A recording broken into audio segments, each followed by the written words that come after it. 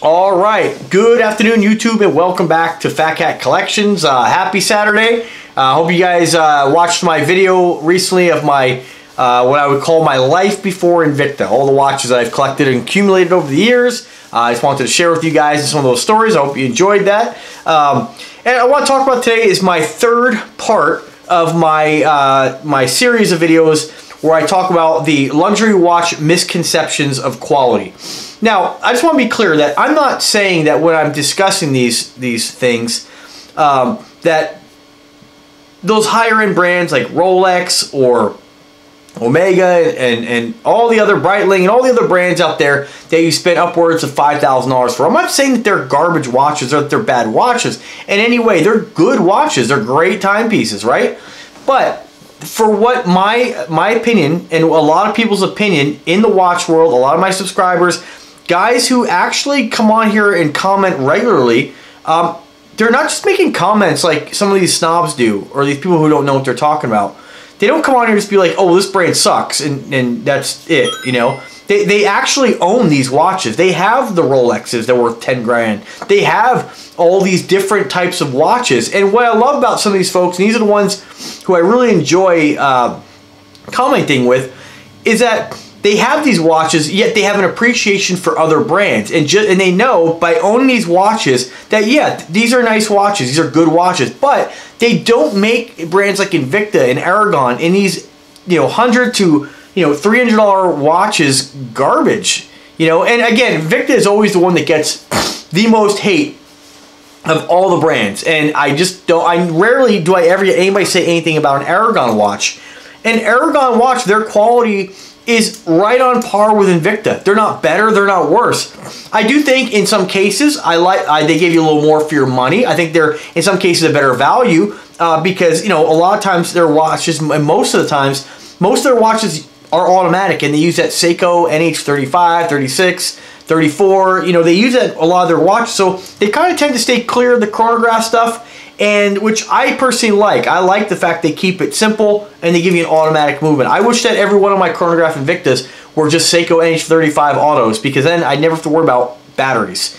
And that's really all I do. Most people who have a chronograph, rotating bezel, all this stuff, they don't use it for what the purpose is. They don't use it to dive. They don't use. They basically don't use the chronograph. They use the watch to tell time. That's about it. Now I'm not telling you that that's you know that that's bad or anything like that. I'm just saying that um, that you just because you have that some of these guys they think they know because you pay five thousand dollars for a watch that that's worth it. And it's just I'm sorry, but uh, I was looking at Rolexes yesterday. I was like, you know what? Maybe one day I'll maybe I'll okay. Let me think about it. You know, maybe I'll get one someday. You know, maybe I'll rationalize that purchase. And the more I looked at it, the more I said to myself, absolutely not. I mean.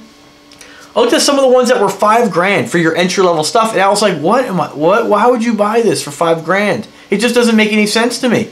And I, I just, so that's just, again, just my opinion, not bashing the brand, not bashing Rolex owners. I'm just saying I'm bashing those fools who come on with ridiculous statements. So this is, again, uh, my third part of the series where the misconception, uh, one guy gave me a great term and I've been using it a lot lately. It's called manufactured desire.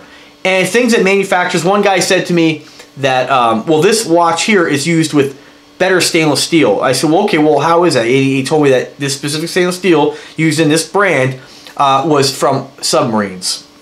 All right, so, so okay, so you're telling me because it's used from submarines, and maybe it's got. He said it claimed it had a a, a harder resistance to being scratched. All right, so okay, again, manufactured desire. Is that really true? You know, is it? I mean, I don't know. 316 is pretty friggin' good. I haven't had any issues with any of mine. So is that so? Again, manufacturer desire. Well, a company will say, "Oh, well, this is used in submarines, so this is why you have to pay more." Just like with Rolex, in my opinion, using that stainless steel that they use in their watches, it's not going to mean anything to the normal person wearing the watch. I mean, unless you throw that watch in some salt water and leave it there for a couple years, it's not going to make a difference. Most people who own a Rolex don't even take it in the water. Okay. So they baby their Rolex. I mean, that's why they have their beater watch, you know? So it's just kind of ridiculous. And it, again, it's these, these manufacturers' features to make you think or, or to, to, to, to give you think you're getting something that's better when you don't really need it. It's an unneeded uh, it's an unneeded feature.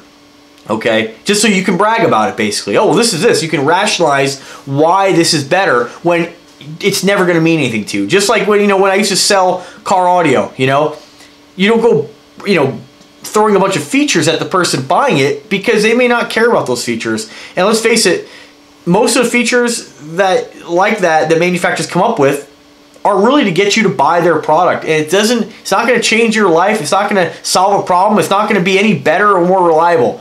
Maybe under specific conditions it will be, but you're never going to be in those conditions ever, nor will the watch. So it's it's meaningless. It's manufactured desire. And so uh, again, I'm coming around to these manufacturers coming up with these these reasons on why you should spend a lot more money for their product. Now, I'm not saying that maybe the quality control is better. That's fine. But here's the thing. It, it, should be for what you're paying. I mean, if Invicta went around and said, "Okay, we're going to charge five grand for our watches, but now we're gonna we're gonna go over, we're gonna make sure everything about those watches is, is amazing," you know, which I think they're already amazing. I mean, come on, it's just $150 Grand Diver compared to a Rolex. Okay, the what is Rolex a little more accurate? You know, it, it's asinine, and everybody who has a Rolex and has a Grand Diver will tell you that yeah, the Rolex is a great, nice fine timepiece. It's refined.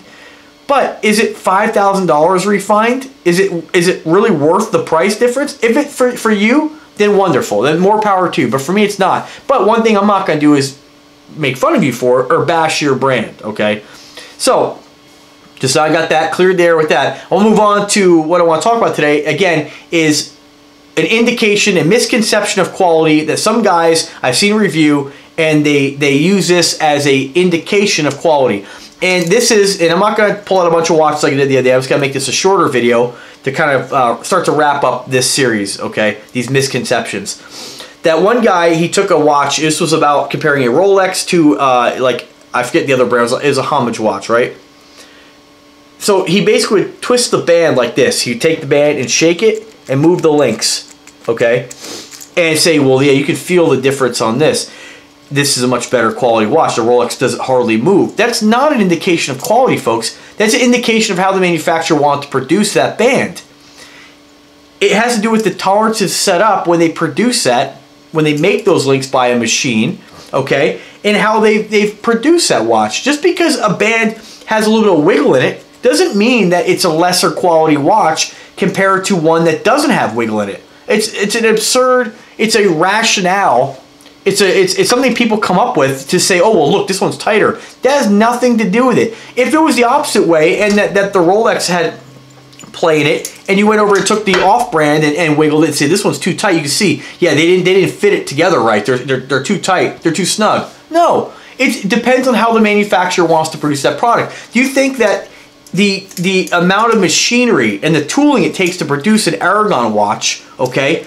Do you think that that, that that machinery can't produce band links that are tighter? That's not how they do it. They want the play in there. And most watches out there want the play in the band. That's just how most watches are. So it's it's just it's a ridiculous assumption that because a band is tighter that that makes a higher quality product. That's ridiculous. And like I said the other day about the bezel, one guy posted that go turn the bezel on a Rolex. Well, you know what? I'm going to go turn the bezel on the Rolex and I'm going to bring one of my Invicta Pro divers and really experience this amazing difference worth, uh, you know, 50 times as much. I mean, I, I, I hope it changes my life. I hope it's earth shattering. I mean, it's ridiculous. So turn the bezel, which you never turn. Like who the hell turns or no? Most people who wear a watch don't ever mess with it. They just don't. Most people just leave it alone. Most people are not using the bezel for what it's designed to do. So it's just a feature of a watch because that's what makes uh, certain watches. They put that feature on there because it is it does have a purpose, but most people don't use it. So you're telling me that I'm going to turn the bezel on a $5,000 Rolex and be blown away that I'm going to sell all my watches and go buy one? Most ridiculous thing ever. You think that most people are concerned with the, the bezel? That's a watch snob who probably doesn't even own a Rolex or an Invicta coming on with just an just an asinine statement. So again, um, you know, other people, other folks will say, "Oh, well, you know," um, and I'll, I'll, well, actually, I'm gonna save that for next video. We'll we'll pick point number four, which I'll touch on as well. I did the other day. I did the bezel, did the movement, and today we're we're focusing on the band. Uh, so again, um, just remember, guys, band play does not make an item luxury if it moves less. Not the case. It's how the manufacturer want to do it. If Aragon wanted to do it, they would do it. If other brands want to do it, they would also do it. They don't because they don't want to do that, okay? Most watches have play in the band for a very specific reason, okay? That does help prevent wear on the links. Just let you guys know, if something's too tight, like for instance, if it's gold plated like this, that's too tight, you're gonna, you're gonna cause wear. A lot more wear and more friction if it's tighter. So, um, just something to think about, guys. All right, so that was my quick video on another luxury watch quality or or any watch quality misconception. Um, tell me what you guys think. Uh, thank you very much for watching. I have a couple more of these videos coming up, and again, I know some of you guys love the Stuhrling watches, and those are I'm also re-reviewing all that stuff too. So stay tuned, guys. Lots more coming down the road. Remember, if you like the content, subscribe click like on the video and definitely comment. I encourage you if you're not one to comment, give your opinion, just do it in a respectful way. No problem. And I'll try not to come after you too hard. All right, so uh, what else? Uh, and if you do like the content uh, in any of my videos and you want to make a purchase on anything I review, there's always a link in the bottom. It does help support the channel, and it's been great, guys. Thank you very much. Oh, and one more thing. I did a video the other day uh, just because I got some new lights in the office, and I, uh, I probably won't upload it because I was, you know, had a couple beers. You know, we don't need to be posting that, but um, you know, because it's never a good it's never a good idea to post. You know. You know, video if you, if you had a couple beers, but nonetheless, um, I did comment on or, or, make a comment about my lighting. Several folks, one guy said he doesn't want to watch me anymore because of my lighting. I want you guys to tell me what you think now. And what I've done, uh, the batteries are almost dead in these LED lights I have. I've been using those and I have the lamps on. Right now in this room, there are Two lamps behind me with smart bulbs. Two lamps I just purchased over here with smart bulbs. Same lamps right on the desk here with a white shade that I have on with uh, some uh, Sengled bulbs. Uh, they're at max brightness. They're like a 60 watt equivalent and I have the LEDs on me as well. Tell me what you guys, let me just flash a watch at you real quick so maybe you can just get an idea of, uh, let me take this one off here. In case you're wondering, this is a, an old school Adee Kaye I have. I love this watch. Let me throw on the Aragon here. I just want you guys to tell me if the lighting looks better. And I think it really does. And if it doesn't, then I give up because I have a lot of lights on right now. Uh, I if I, I can't have any more lights in my face. It's bright enough as it is. So tell me if this has made a difference, guys. Tell me if this makes the video more enjoyable. Um, I want to make this stuff better for you folks. So that's about it. All right, guys. Have a good weekend. Take care. Bye-bye.